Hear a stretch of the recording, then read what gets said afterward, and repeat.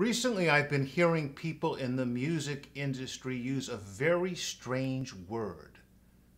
In fact, this is a word I've never heard them use before, but in the last few years, it's showing up everywhere. And that word is algorithm.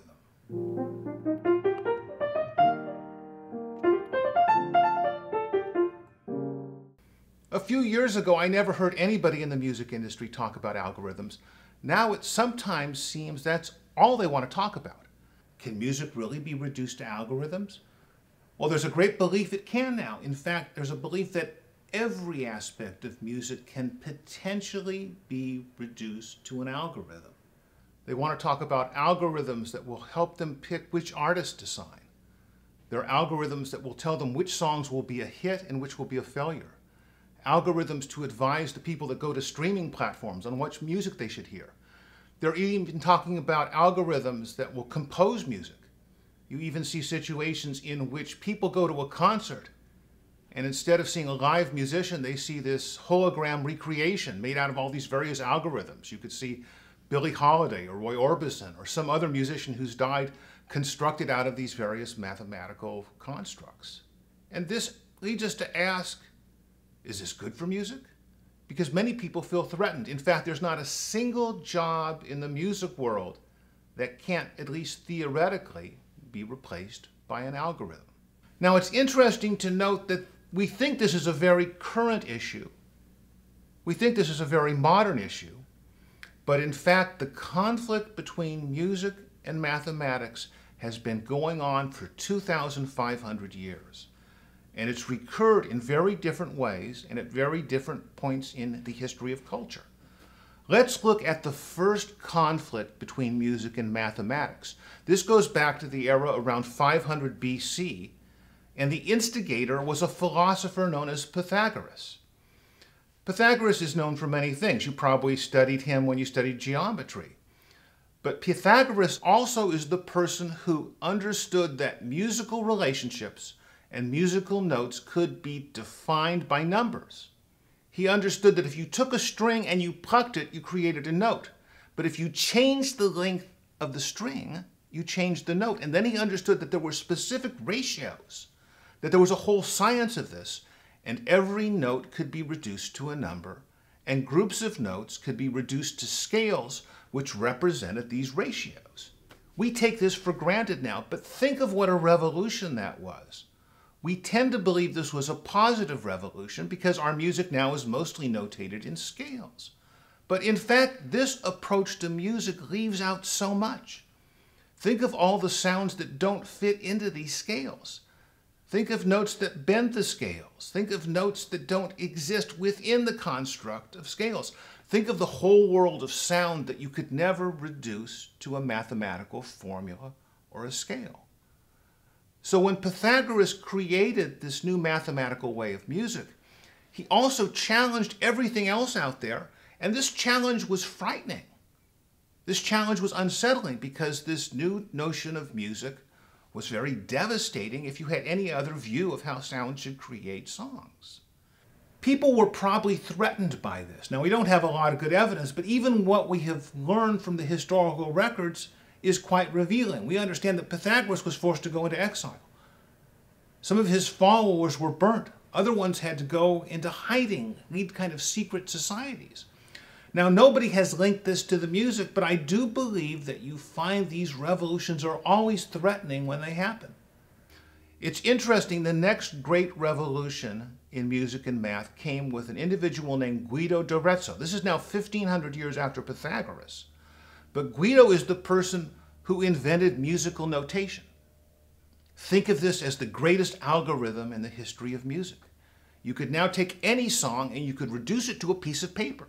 It's like a scientific formula for recreating a specific song. It's the very definition of an algorithm. Once again, this was controversial. There were death threats. Guido d'Arezzo had to leave his monastery. He was kicked out of the monastery. He had to go to the Pope for protection. He said there was a conspiracy against him.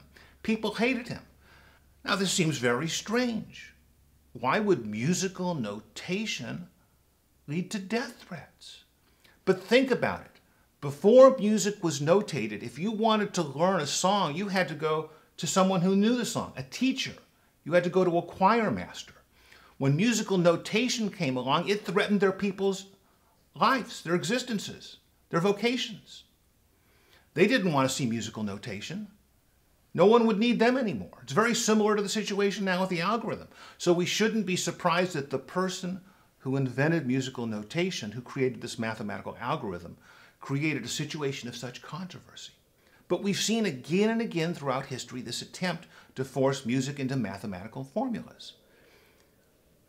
Augustine wrote this great treatise on music.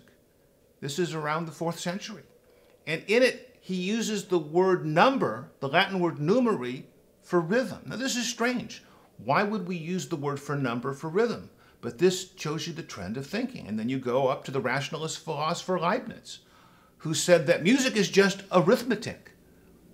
That when we're listening to music, our brain is counting, we're just not aware of it. You have the same thing with Schopenhauer, who believed that music was just an advanced form of mathematics. Now, this is where we get to the most interesting juncture in the story when music fought back.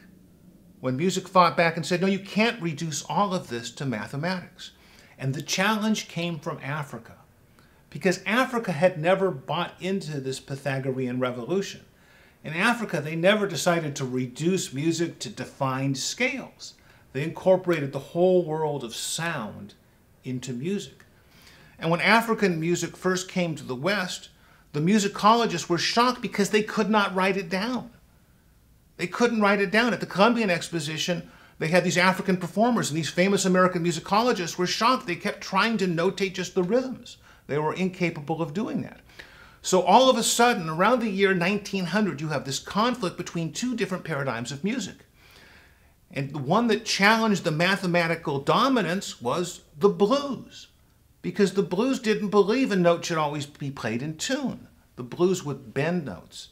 The blues would use notes that were not in the scale. And this led to a hundred year burst of creativity in which all of popular music learned about bending notes.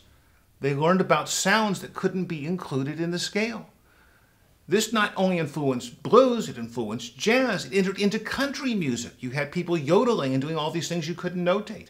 Even when you listen to these singing competitions on TV, you find that the singers will always bend the notes. This didn't exist before the blues entered into the mainstream of popular music. So you see that mathematics does not have to dominate, and when mathematics is challenged, by the entry of an African element, by the entry of a jazz element, by the entry of a blues element, it revitalizes the music. So I would suggest this is how we should look at the conflict today between music and math. We see these two paradigms. They're conflicting. Everybody wants to reduce things to the algorithm. But in a way, we need a new African revolution in our music. We need to understand not every aspect of music can be easily transformed into an algorithm. And the moment you try to reduce everything to math, there are all the things you leave outside. So let's embrace math, let's embrace the algorithm, but let's also realize the importance of the things that can never be contained in a simple algorithm and think that maybe even now in the current day, we need a new African influence, a new African revolution entering into our music so that we don't reduce everything to just number.